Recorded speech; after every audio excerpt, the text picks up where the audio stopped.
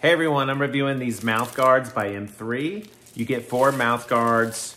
Two of them are the heavy duty mouth guards. And then you get two thinner mouth guards. They call them trays. One is large and one is small. So I grind my teeth at night and my dentist always says something. And this is gonna be a lot more affordable than having my dentist create me a guard. You also get a nice blue case that comes with it.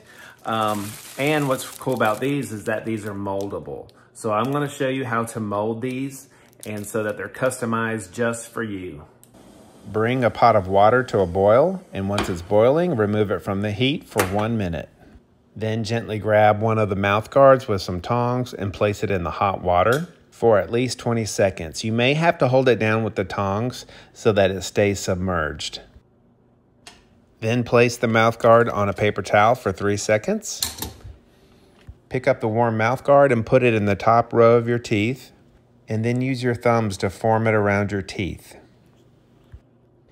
And then start sucking inwards as tight as you can to really get a good mold on it.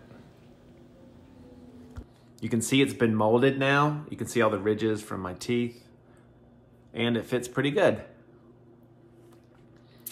And during the day, I can just store it in my case.